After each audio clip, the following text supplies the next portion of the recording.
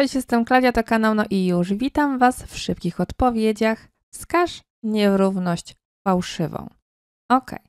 No i tutaj, gdy mamy w podstawie logarytmu ułamek, to tam, gdzie mamy mniejszą liczbę logarytmowaną, mamy więcej, więc tutaj od razu jest nierówność fałszywa.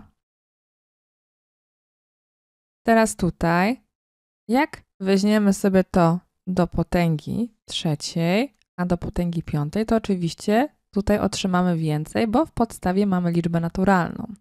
Więc tutaj nierówność jest prawdziwa. No to lecimy dalej. Mamy tutaj pierwiastek z pięciu, tutaj pierwiastek z trzech, czyli tutaj mamy ułamek. Ułamek do potęgi ponad 2 i ułamek do potęgi. Tutaj mamy niespełna 2, to oznacza, że tutaj mamy więcej, ponieważ mamy tutaj oczywiście ułamek, to wtedy, tak jak w przypadku logarytmów, tam gdzie mamy mniej, oznacza większą wartość.